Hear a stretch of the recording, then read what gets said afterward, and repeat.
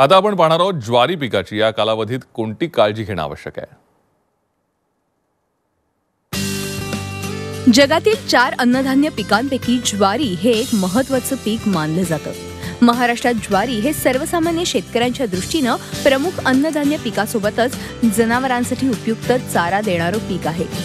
खरीप हंगामात प्रामुख्यानं मराठवाडा विदर्भ पूर्व खानदेश आणि पश्चिम महाराष्ट्राच्या काही भागात हे पीक घेतलं जातं.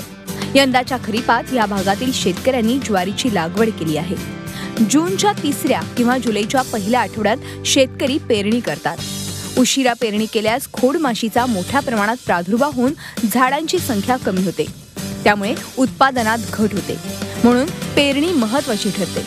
यंदा पावसाचं प्रमाण कमी अधिक असल्यामुळे काही शेतकऱ्यांनी जुलैमध्ये पेरणी केली आहे. ज्वारीच्या पेरणीपासून बारा ते पंधरा दिवसांनी विरळणी करणं आवश्यक असतं. त्यासाठी दोन झाडांमधील अंतर दहा ते बारा सेंटीमीटर इतकं ठेवावं.